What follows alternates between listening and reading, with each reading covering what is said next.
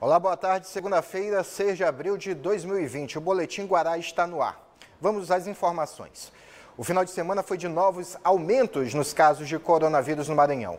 Os números deram saltos regulares. Na sexta-feira, quando apresentamos o programa, mostramos que haviam 81 casos. No mesmo dia à noite, a Secretaria de Estado da Saúde revelou sete novos casos, chegando a 88. No sábado, foram mais oito, totalizando 96. No entanto, ontem os números cresceram bastante. O Maranhão registrou mais 37 novos casos. Neste momento, o Maranhão está com 133 casos confirmados por laboratório, sendo dois óbitos.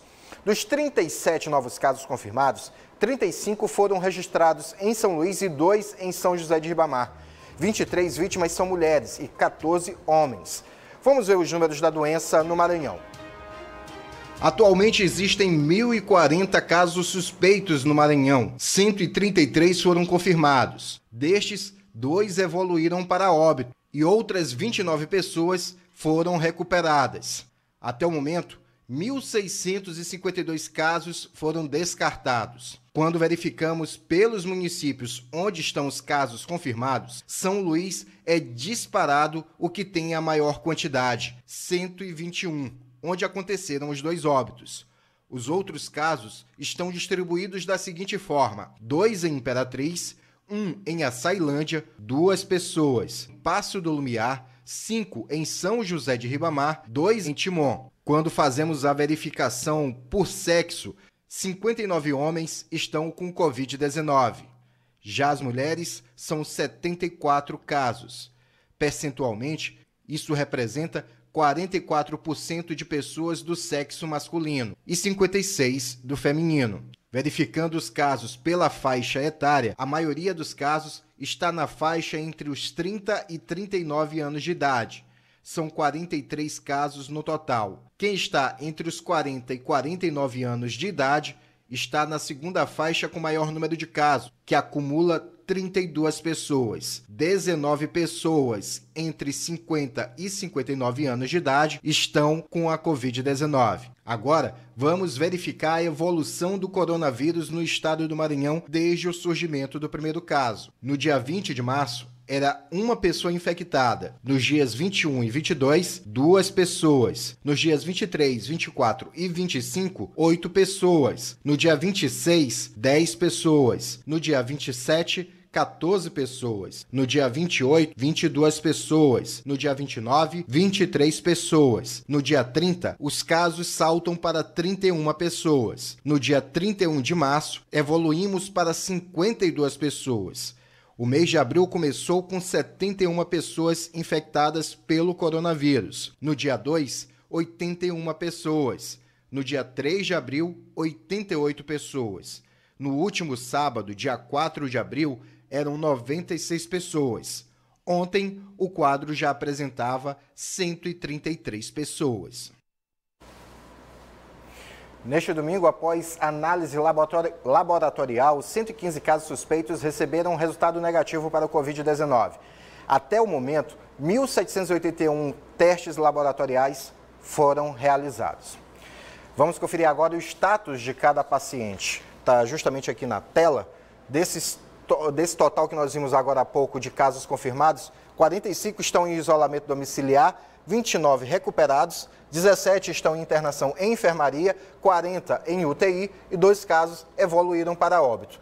Na porcentagem, 22 casos recuperados, 22% dos casos foram recuperados, 34% em isolamento domiciliar, 30% em internação em UTI, 13% em internação em enfermaria, 1% de óbito. Os números ainda são bem positivos, ainda são bem otimistas em relação aqui ao estado do Maranhão, quando a gente percebe essa classificação aqui dada pela Secretaria de Estado da Saúde. E hoje, o Exército Brasileiro e a Vigilância Sanitária Municipal uniram forças e iniciaram o trabalho de limpeza de unidades de saúde de São Luís. As atividades começaram pelo Hospital da Criança, no bairro Alemanha. A repórter Bel Soares acompanhou este início de trabalho. Bel, boa tarde. Qual o efetivo que foi utilizado nesses trabalhos? Olá, João, bom dia para você. Olha, são 700 homens do Exército que estão trabalhando neste processo de higienização das unidades de saúde. Eles usam equipamentos de proteção individual, como máscaras e roupas especiais, e também substâncias como água sanitária neste trabalho de limpeza. O comandante do 24º Batalhão conversou conosco sobre a estação. No sábado nós realizamos a higienização do Hospital Socorrão 1, Hoje estamos fazendo aqui, iniciando o dia no Hospital da Criança. Saindo daqui nós vamos iniciar a higienização ali na, na área da vigilância sanitária e em seguida lá no Hospital da Mulher, que é o hospital de referência para o atendimento à questão do coronavírus aqui na cidade. Só lembrando que esta ação do Exército em parceria com a Vigilância Sanitária Municipal. João.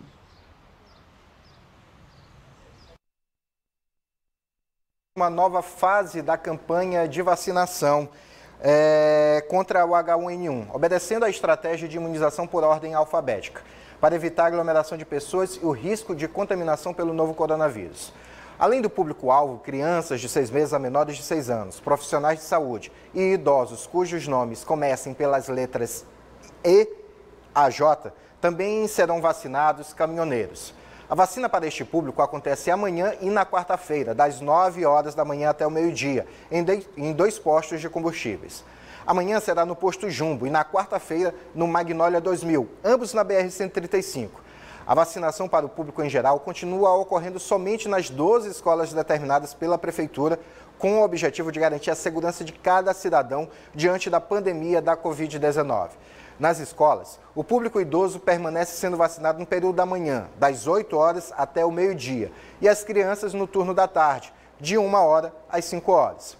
O drive-thru para vacinação exclusiva de idosos continua ocorrendo na Avenida do Contorno, no Complexo Castelão, na área de provas do Detran.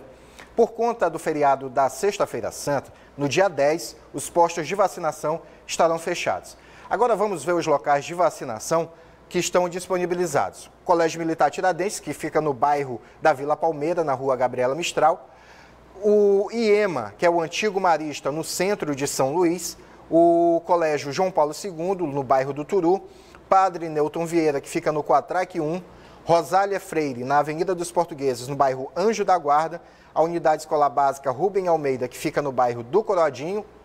Cruzeiro do Sul, no bairro Vila Nova a Unidade Escolar Básica Laura Rosa, no conjunto Nice Lobão, na cidade operária, o Centro de Ensino Júlio de Mesquita Filho, no Coab Anil 1, o José Nascimento de Moraes, no Vinhais, a Unidade de Escolar Básica Ana Lúcia Chaves Fecuri, no bairro do São Bernardo, e a Unidade Escolar Básica Mariana Pavão, no Rio Anil. E aqui está o cronograma de vacinação. No dia 6, idosos e crianças cujo nome começa aí pelas letras E e F. No dia 7, idosos e crianças com as iniciais E e F ainda. No dia 8, crianças e idosos com as iniciais G, H e I. E no dia 9, idosos e crianças que comecem pela letra J. Nós vamos agora ao intervalo comercial e voltamos já com o Boletim Guará.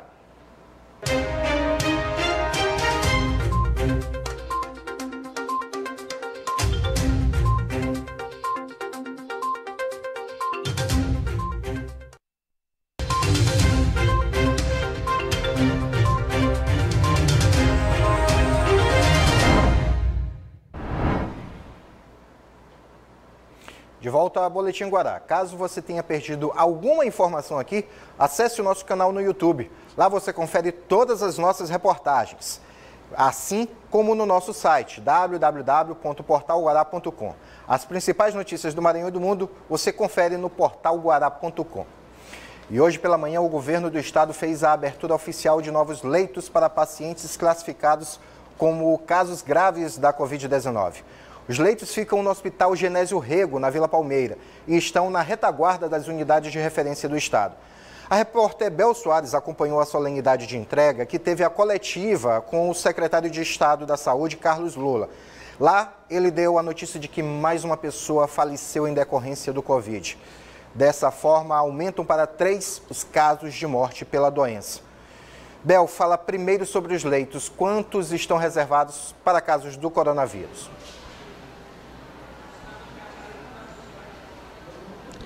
João, o Genésio Rego foi entregue, foi inaugurado no início da manhã de hoje com 52 leitos, 39 de enfermaria e 13 de UTI, todos equipados com respiradores, que são esses equipamentos necessários para os casos mais graves da doença.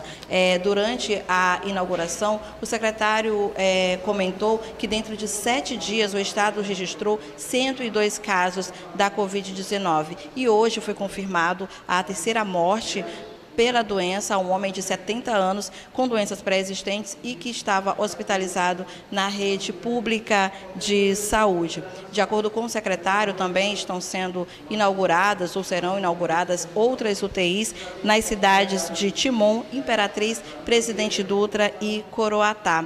Eu conversei com o secretário sobre essa questão dos kits, dos testes rápidos, os kits de teste rápidos, é, quem pode usar e como pode ser feito. Vamos ouvir. Esses testes eles servem como triagem, ele não serve como diagnóstico. como é, de cada quatro eu posso ter três erros nos casos dos negativos, eu não posso testar a população, sair negativo e ele sair por aí achando que está tá tudo bem, que ele não tem a doença. E na verdade ele pode ter a doença. Então, nesse caso, a gente só vai usar os testes rápidos em profissionais da segurança e da saúde, que são profissionais que estão na ponta, estão na rua, que precisam ser testados sempre e nos casos de pacientes graves em leitos de UTI. Então, um paciente grave que está hospitalizado, como a carga viral dele é muito alta, então é provável que o teste dê positivo. Então a gente precisa ter uma resposta pronta. Só nesses casos, seguindo a orientação do Ministério da Saúde, é que a gente vai utilizar o teste rápido. O epicentro da doença aqui no estado é a capital, São Luís, mas, de acordo com o governo, há casos registrados confirmados nas cidades de Timon, Açailândia, Ribamar e também Imperatriz. João Carvalho. Obrigado, Bel. E pela primeira vez na história, a Universidade Federal do Maranhão realizou colação de grau por meio de videoconferência. A solenidade virtual reuniu 65 estudantes de medicina dos campi de Imperatriz, Pinheiro e São Luís, que receberam o grau referente ao primeiro semestre de 2020. A cerimônia atende ao que determina a medida provisória 934, de 1 de abril deste ano, publicada no Diário Oficial da União que estabelece normas excepcionais sobre o ano letivo da educação básica e do ensino superior, decorrente das medidas para enfrentamento da situação de emergência de saúde pública, de que trata a Lei número 13.979, de 6 de fevereiro de 2020.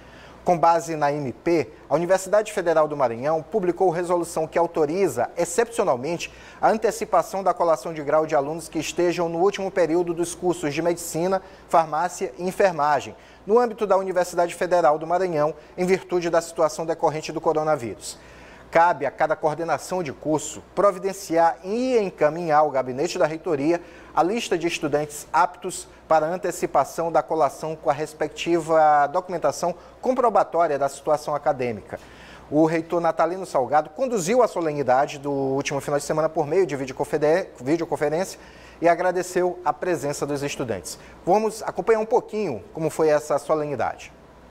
O que eu desejo para vocês é um futuro brilhante, com um exercício profissional lindo, que vocês abracem a carreira, aquela especialidade que ele convém a cada um, mas dizer para vocês o seguinte: vocês não vão ver tocar um hino, nem tampouco o hino da, o hino nacional, nem o hino da universidade, nem tampouco a canção de despedida, que eu inseri alguns anos atrás, que é uma canção de despedida, que promove muita emoção, porque a colação de grau se dá com os familiares. E vocês, a maioria, não estão com seus familiares e amigos. Boa sorte a todos, que juntos dêem o melhor de si para a formação de vocês, e principalmente seus amigos familiares, seus pais, estão muito orgulhosos desse momento, que o reitor deseja que a universidade e nós, a comunidade universitária, deseja a todos os formandos. Muito obrigado. Essa colação de grau foi exclusiva para os alunos do curso de medicina. Estudantes de farmácia e enfermagem que são incluídos na MP já haviam colado grau anteriormente de forma normal. Nós vamos ao intervalo e voltamos já com mais Boletim Guará.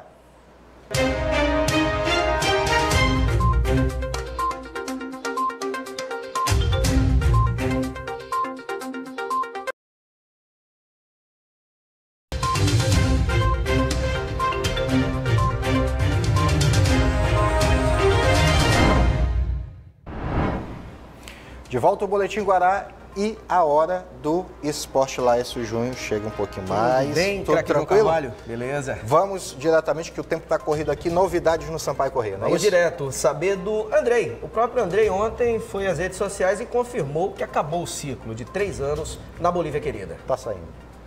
vídeo vou falar aqui para vocês que hoje se encerra um ciclo muito vitorioso na história do clube Sampaio Correia. É, é, por conta do meu, do meu contrato assim, encerrar agora em maio é, é, e essa pandemia onde paralisou tudo, é, fica melhor para mim e para o clube é, é, é, não estender esse vínculo por conta da incerteza de quando vai voltar tudo ao normal, então é melhor né, assim para ambas as partes a gente encerrar aqui, mas foi tudo de uma forma tranquila.